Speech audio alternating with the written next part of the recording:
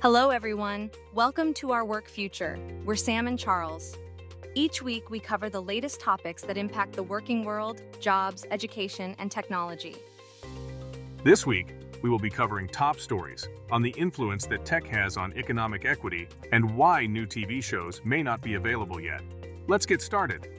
In Hollywood, there has been a prolonged writer's strike with concerns about AI taking over. This has left a lot of writers curious about their job security and questioning AI's ability to tell a good story. The strikers want to make sure that while we leverage AI to accomplish work efforts, we don't lose creativity and the ability to create racial and ethnically diverse content with a diverse cast and crew. While I appreciate the effort to keep equity and creativity top of mind, the current increase in streaming platforms and people's quick consumption of content has created a demand that AI could potentially help keep up with. This could allow writers to focus on what matters most to them while letting AI create the foundation of the work. But Charles, that still does not fix their concerns around job security. If writers are already feeling like their opportunities are shrinking and they are slowly being replaced, how does the industry take care of their creators? I hear you. However, this could be an opportunity for the industry to innovate they can ensure both efficiency in work and creative diversity coexist. It is a challenge, but one that could shape a more inclusive future if addressed correctly. In recent news, an AI-generated art piece has won at a state fair. This highlights the capabilities of AI tools that can create art from mere text, which could threaten the livelihoods of countless commercial artists. Well, these AI tools offer a new dimension to art. They could complement, not replace, human creativity. Think of the possibilities when artists learn to work with these methods to elevate their work.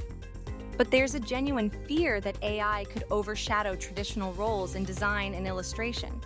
Plus, there's a conversation around updating copyright laws to accommodate AI-generated content.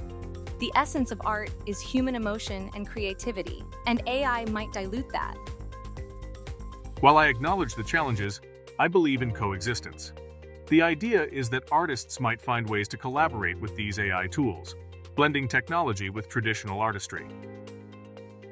Another ongoing strike by screenwriters and actors in Hollywood is raising concerns about AI's growing presence in the industry, especially with big studios like Netflix and Disney. It's interesting how AI is making its way into the entertainment world. It can definitely help with some processes and even bring in new storytelling methods. The march of technology is inevitable, and perhaps the industry needs to adapt and find a middle ground. But there's also talk about writers being concerned with AI regenerating content. And actors, they're not too thrilled about digital replicas being made without their say. Plus, there's a bit of a transparency issue with some streaming networks. It's a changing landscape for sure. Every new technology brings its challenges. I guess the industry will have to figure out how to balance AI's potential with keeping the heart of human creativity. It's going to be an interesting journey ahead. Today, we've delved deep into the intersections of AI and the creative world, from its influence on commercial art to the ongoing Hollywood strikes. The rise of AI tools, whether in art generation or script writing, poses both opportunities and challenges.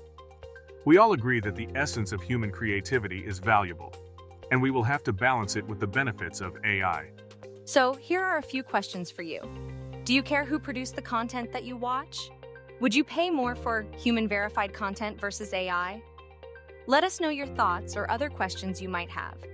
Thanks for joining us in this discussion. Make sure to subscribe to our YouTube channel and stay tuned to our next weekly episode of Our Future Work.